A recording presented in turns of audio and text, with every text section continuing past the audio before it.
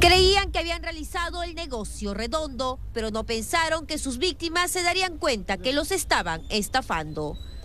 Según la policía, Exxon Vázquez Chauca, de 21 años, quien es nada menos que actual jugador del club Intigas y su primo, pertenecen a una banda de estafadores que se hacen pasar como trabajadores de aduanas y ofrecen a sus víctimas sacar sus vehículos a cambio de dinero. Estos hombres, según denunciaron, fueron víctimas de Exxon y su primo. Ellos fueron captados en Huancavelica y según dicen fue el propio jugador del Intigas quien les propuso el negocio.